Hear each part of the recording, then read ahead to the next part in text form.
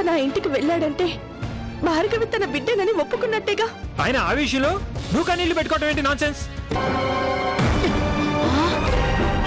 నువ్వు కూడా ఇక్కడ కూర్చొని తింటావో? నేను పని మంచిని కదా బాబు. ఆయన ఈ ఇంట్లో అంతే. ఇలాంటి చాకరీలు చేయాల్సిన కర్మ ఆయనకేం లేదు. అంకుల్ పదండి వెళ్దాం. నేను రాను రాజా. అయినా విడాకులు ఇచ్చిన తర్వాత తను ఇక్కడ ఉండటం కూడా కరెక్ట్ కాదు కదా ఆంటీ. అందుకే జయంతే అమెరికా వెళ్ళిపోదామని చెప్పింది.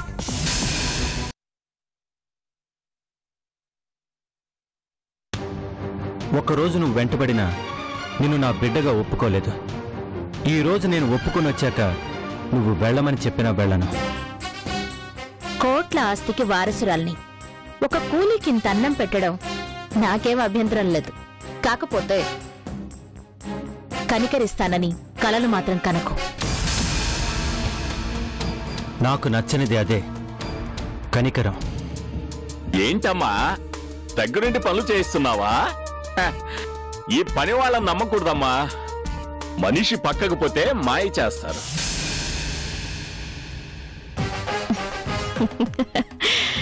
నా దగ్గర ఎవరి మాయలు చెల్లవు మావయ్య. అవునవును. మాంత్రికుడు ముందు మాయలు చేస్తే ఎలా? పొగిడానా తిట్టానా? ఎందుకు వచ్చిన గొడవ? టాపిక్ మారిస్తే పోలా? అమ్మా నీకో విషయం చెప్పాలని వచ్చాను. ఏంటది?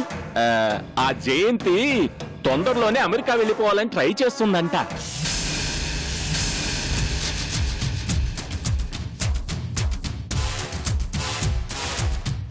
అవునా? ఒక్కతే వెళుతుందా? లేక తోడుగా ఎవరినైనా వెంట తీసుకుని వెళుతుందా? ఒంటరిగా వెళ్ళాల్సిన కర్మేంటమ్మా నవీన్ ఉన్నాడు కదా. విడాకులకి అప్లై చేసింది కదా. అవి రాగానే వెంటనే జంటగా వెళ్ళిపోతారు. ఈ రోజుల్లో భర్తను వదిలేసిన భార్యలకి మొగుళ్ళే దొరకకుండా పోతారా? అవునమ్మా. ఇంతకు ముందు వంద మందిలో ఒకరిని సెలెక్ట్ చేసుకొని పెళ్ళి చేసుకునేవాళ్ళు. ఇప్పుడు ఆ పని అమ్మాయిలు మొదలు పెట్టారు అబ్బాయిలు ఎక్కువైపోయి ఏ ఆడదైనా ఒంటరిగా కనిపిస్తే చాలు. రెండో పెళ్ళ మూడో పెళ్ళ అని కూడా చూడట్లేదు.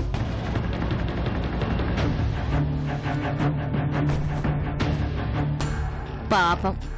మరి ఆ మాజీ మొగుడి పరిస్థితి ఏంటో? ఏముందమ్మా? ఇట్టాగే ఏ కూలి పనైనా చేసుకొని బతకాలి. ఆడవాళ్ళ జీవితాలతో ఆడుకునే వాళ్ళకి అలాగే జరగాలి మావయ్య. చూస్తూ ఉండగానే పెళ్ళి చేసుకుని వెళ్ళిపోతుంది. అందరూ వదిలేసిన మనిషి. ఒంటరితనం భరించలేక కుళ్ళి కుళ్ళి సూసైడ్ చేసుకుంటాడు.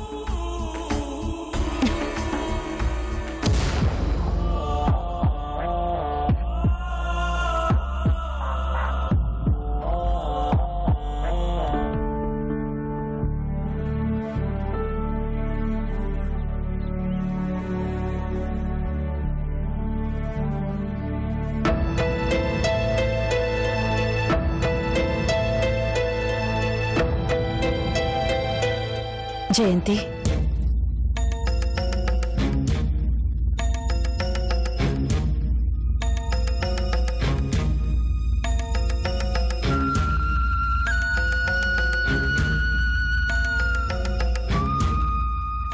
ఎలా ఉన్నావు జయంతి? ఇలా ఉన్నాను. నేను రావటం నీకేం ఇబ్బంది లేదు కదా? నీతో నాకే ఇబ్బందులు లేవక్కా.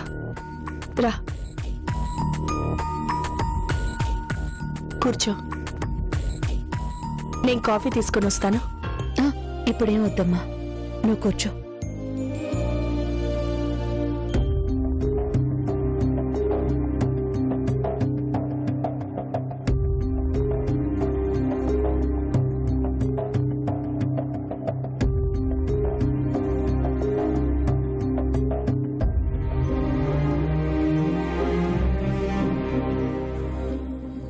నేను ఎందుకు వచ్చానో అడగాలనుంది కదా.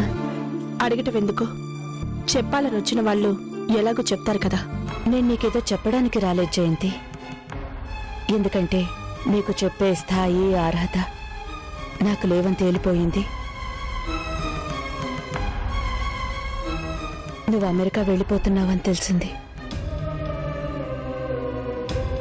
అవును. నాకిక్కడ ఉండటం ఇష్టం లేదు. అందరికీ దూరంగా ఉండాలని నిర్ణయించుకున్నాను. అది కొందరికి తప్పనిపించవచ్చు కానీ నాకు కరెక్ట్ అనిపించింది వెళ్తున్నాను.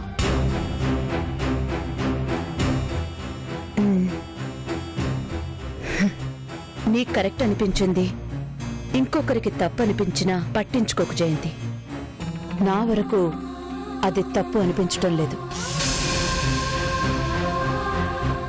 నాకు తప్పనిపిస్తే ఇప్పుడు కాదు. నువ్వు డైవర్స్ కోసం నోటీస్ పంపించినప్పుడే ఇక్కడికొచ్చి ఇది తప్పు నిర్ణయం చెప్పేదాన్ని.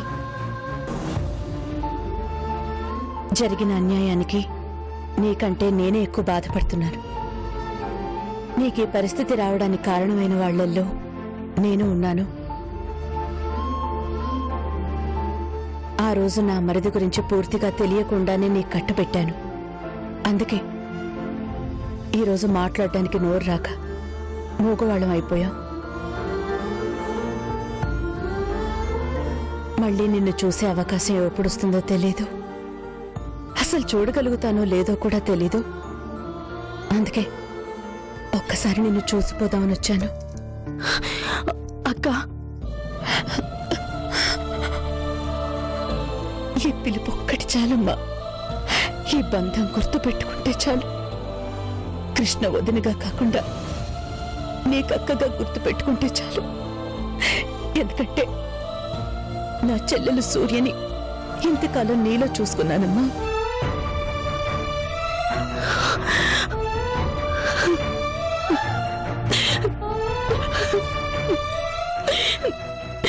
చాలా విసిగిపోయానక్క. ఏ మనుషుడైనా మీతో మీరు ప్రేమించకూడదని నిజం. ఎన్ని రోజులకి తెలుసుకున్నాను.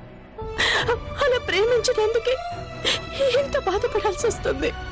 వద్దమ్మా. నువ్వు అసలు ఎవ్వరి గురించి బాధపడద్దు. నిన్నెవరూ తప్పు పట్టరు తప్పు పట్టే అవకాశం కూడా లేదు. నువ్వెక్కడున్నా బాగుండాలి అని కోరుకుంటాను. జై నేను అమెరికా వీసా అప్లై చేశాను హలో ఆంటీ. మీరు ఎప్పుడు వచ్చారు ఇప్పుడే నవీన్. జయంతిని ఒకసారి చూడాలనిపించొచ్చాను. వస్తాను. వస్తాను జయంతి.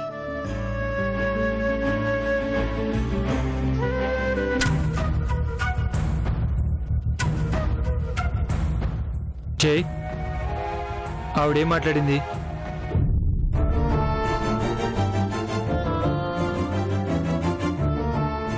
ఏం లేదు. నేను అమెరికా వెళ్ళిపోతున్నానని తెలిసి చూసిపోదామని వచ్చింది. అంతే.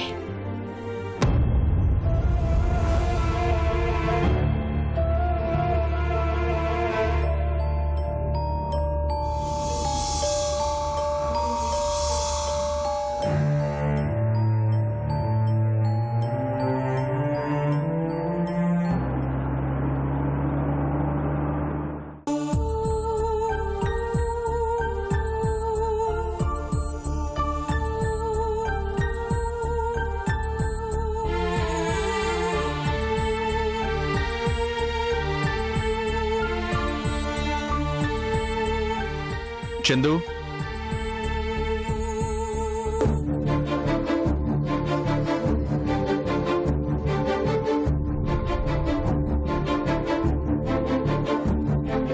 ఇదేంటి? మీరు ఆఫీస్కి వెళ్తానన్నారు కదా? మళ్ళీ వచ్చేసరే? ఆఫీస్కి వెళ్ళాను. మనసు బాలేదు. అందుకే వచ్చేసాను. ఏమైందండి? చాలా చాలా విచిత్రాలు జరిగిపోతున్నాయి చందు. ఎక్స్పెక్ట్ చేయని మనుషులు మారిపోతున్నారు. ఇప్పుడు ఎవరు మారిపోయారు? మీ అమ్మ జయంతి గారు. మా అమ్మ? అవును. ఒకప్పుడు మీ డాడీ విషయంలో ఎంత పొసెసివ్గా ఉండేవాళ్ళు? అలాంటి మనిషి ఈరోజు ఆయన గురించి పట్టించుకోకుండా అమెరికా వెళ్ళిపోతున్నారంట.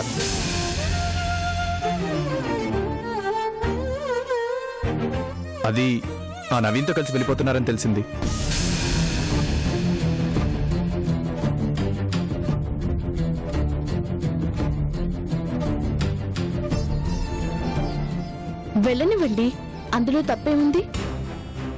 బాగుందని నేను అనడం లేదు చందు. కానీ మనసులో ఎక్కడో మూలైనా బాధ ఉంటుంది కదా. ఎంత ప్రేమించుంటే మీ డాడీని పెళ్ళి చేసుకుంటుంది. అలాంటి మనిషి అలా ఎలా? అంత ప్రేమించిన మనిషి అలాంటి నిర్ణయం తీసుకుంది అంటే మా డాడీ ఎంత బాధ పెట్టుంటారో ఆలోచించండి.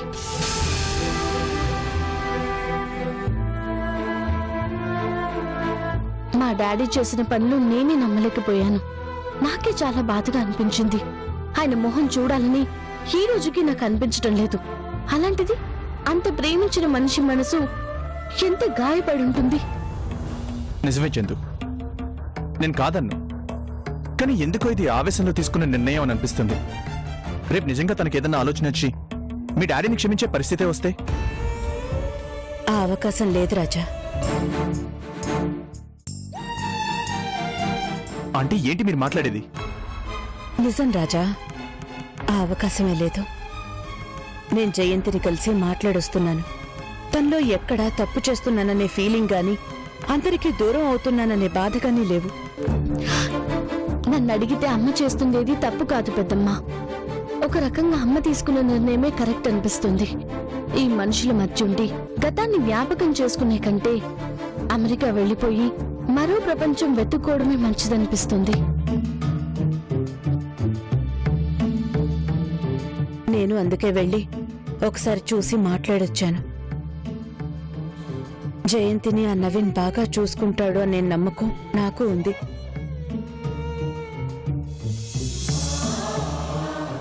వద్దు వెళ్ళొద్దు అని చెప్పడానికి నాకే రీజను కనిపించలేదు. మీరు అలా అంటున్నారు. ఎందుకో నా మనసులో కొంచెం బాధగా ఉందంటీ ఎందుకు రాజా బాధ? బాధపడాల్సిన మనిషే అందరినీ వదిలేసి వెళ్ళి ఆ భార్గవి దగ్గరికి వెళ్ళిపోయాడు. ఆ రోజు నేను తండ్రినే కాదన్న మనిషి ఈ రోజు అక్కడ పని మనిషి కంటే దారుణంగా సేవలు చేస్తున్నాడు.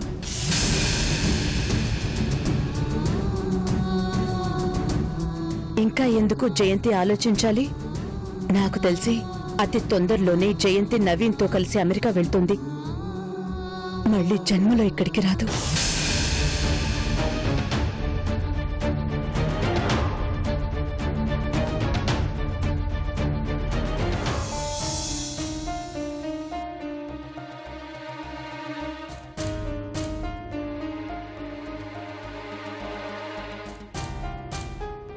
జయంతి తొందరలోనే అమెరికా వెళ్ళిపోవాలని ట్రై చేస్తుందంట. ఒంటరిగా వెళ్ళాల్సిన కర్మేంటమ్మా? నవీన్ ఉన్నాడు కదా. విడాకులకి అప్లై చేసింది కదా. అవి రాగానే వెంటనే జంటగా వెళ్ళిపోతారు.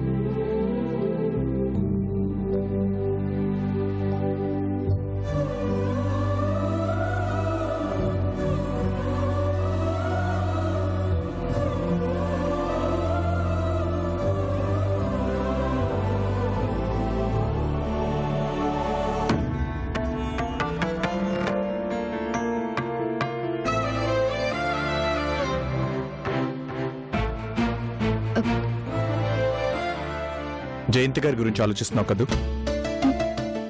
నేనా? నేనేం ఆలోచించడం లేదే.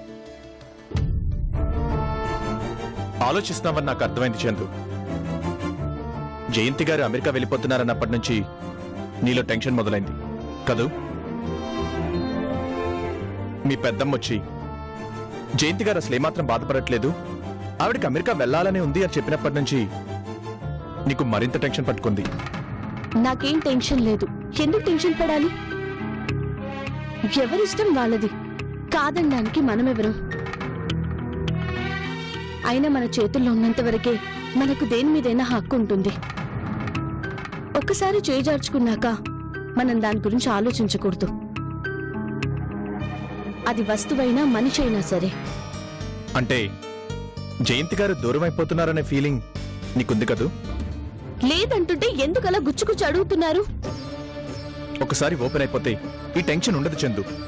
మీ డాడీకి పెళ్ళి చేసింది నువ్వు. జయంతి గారిని సెలెక్ట్ చేసింది నువ్వు. ఆవిడికి మీ డాడీ మీద ప్రేమ కలిగించింది నువ్వు.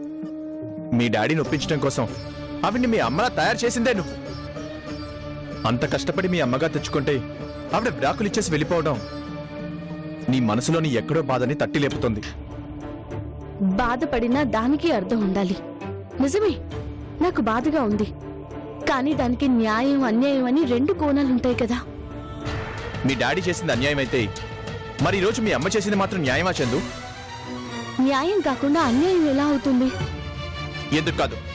విడాకులకు అప్లై చేసిన మనిషి అవి తేలకుండా తన దారి తను వెతుక్కోవడం అన్యాయం కాదా? కోర్టు విడాకులు మంజూరు చేయకుండా అమెరికా వెళ్ళాలనుకోవడం ఆ నవీన్తో కలిసి ఏమండి? అంటే తను వద్దండి. దయచేసి అమ్మ గురించి తప్పుగా మాట్లాడకండి. మా అమ్మ గురించి నాకు బాగా తెలుసు. తను తప్పు చేసే మనిషి కాదు.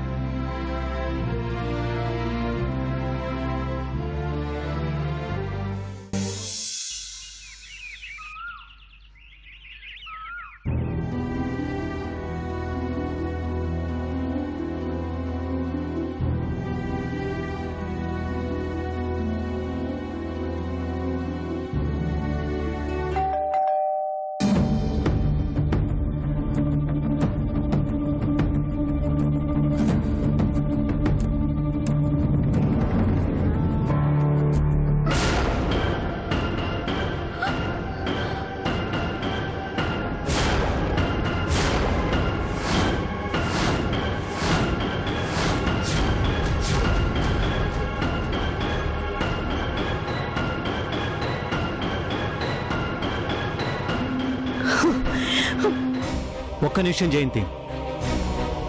నీతో రెండు మాటలు మాట్లాడదామని వచ్చాను. నాకు అవకాశం ఇవ్వా? అసలు ఎందుకు వచ్చా నిన్న ఇక్కడికి ఎవరు రమ్మన్నారు? నేను ప్రశాంతంగా బ్రతకడం నీకు ఇష్టం లేదా? వెళ్ళి ఇక్కడి నుంచి.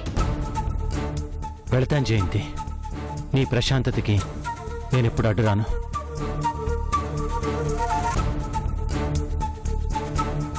ఆ రోజు హాస్పిటల్లో నా మొహం చూడడానికి ఇష్టపడలేదు. నేను ఆ పరిస్థితుల్లో ఏమీ మాట్లాడలేకపోయాను. నీతో మాట్లాడాలంటేనే నాకు అసహ్యం. నీ మొహం చూడాలంటేనే నాకు కంపరం. ఉంటుంది జయంతి. ఎందుకంటే నేను చేసిన పని అలాంటిది. కానీ ఒక్కటి మాత్రం నిజం జయంతి. నేను ఏది కావాలని చేసింది కాదు. నువ్వు నాకేం ఎక్స్ప్లెనేషన్ ఇవ్వాల్సిన పని లేదు. అలాగే జయంతి. నాకు సంజాయిషి చెప్పుకోవాలని లేదు. కాకపోతే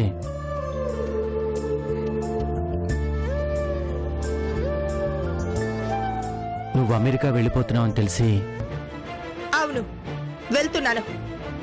ఈ మనుషులకి ఈ మోసాలకి దూరంగా వెళ్ళిపోవాలని నిర్ణయించుకున్నాను. నువ్వు తీసుకునే నిర్ణయానికి నేను ఎప్పుడు వ్యతిరేకించను జయంతి. ఈరోజు కూడా నీ నిర్ణయాన్ని అభినందించడానికి వచ్చాను. నా నుంచి నీకు భవిష్యత్తులో ఎలాంటి ఇబ్బంది రాదని చెప్పడానికి వచ్చాను. అంటే నీ ఉద్దేశం? సదుద్దేశమే. నువ్వు అమెరికా వెళ్ళాలనుకున్నా నా నుంచి విడిపోవాలనుకున్నా మరో జీవితాన్ని మొదలు పెట్టాలనుకున్నా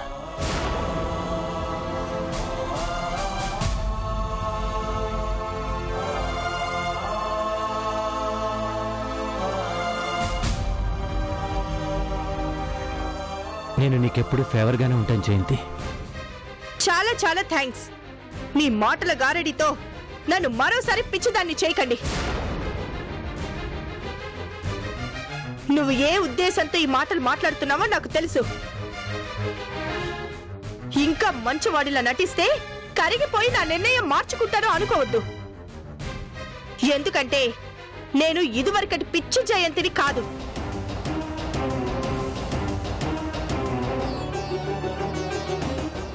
చెప్పాల్సింది చెప్పావు కదా. మళ్ళీ నన్ను కలిసే ప్రయత్నం చెయ్యొద్దు.